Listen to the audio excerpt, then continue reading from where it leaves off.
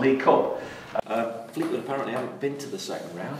Yeah. How big a um, motivation is that for you? I think last year we broke a few records, so that is one we want to break this year, uh, definitely. Um, spoke to the chairman. Um, target is definitely to go into the next round for the first time in the history of the club, and um, that's what we try to to do. Carlisle United, you'll be the favourites. You're at home. They're in League Two. You're in League One. How do you see it? Uh, yeah, it was last year in uh, in League One. There was last year in League Two, and we lost four two.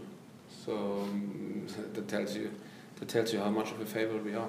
Yeah. But a year on, do you feel the club is in a, a better Um, state than it was when in that early part when you'd only just taken over? of course? Um, last week, uh, last week, uh, sorry, last year, uh, we played in the Checkatrade that game, and uh, tomorrow we will have a, a different team out there than we had in the Checkatrade out there.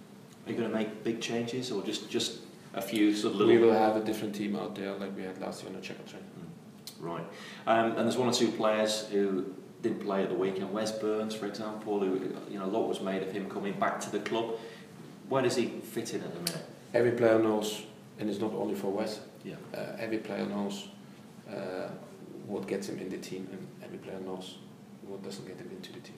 Are you not and that counts for everybody. Sure. Uh, I think we are quite clear what we expect from players in their position um, on a level of performance, um, and um, that counts for every player. I'm not, I'm not speaking particularly to uh, about West. I'm speaking about the whole thing.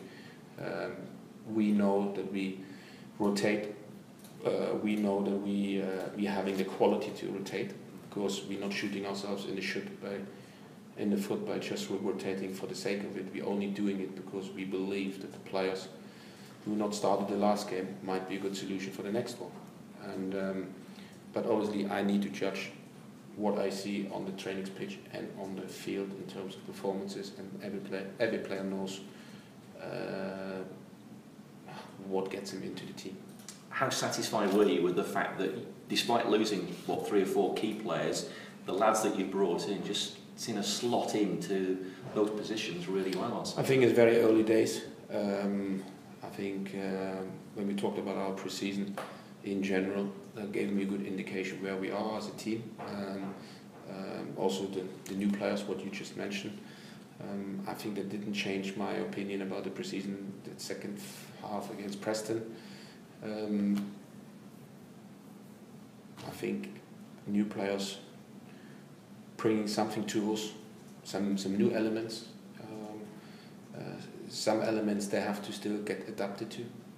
Um, I think it's a good mix what we brought in and with what we already had, uh, and I think it's a, a process, a working process. Is that the right yeah, word? Yeah, yeah. And um, we just one game into the season, and um, it's too early to to make any conclusions whatsoever. Will be many up and downs, and uh, but so far so good. And I think that started already since the players joined us. uh, 19th, we started the pre-season already the 19th of June, um, and um, I already got a good conclusion about where we are. And I wasn't surprised that we pulled out a performance like we did against Rotherham United.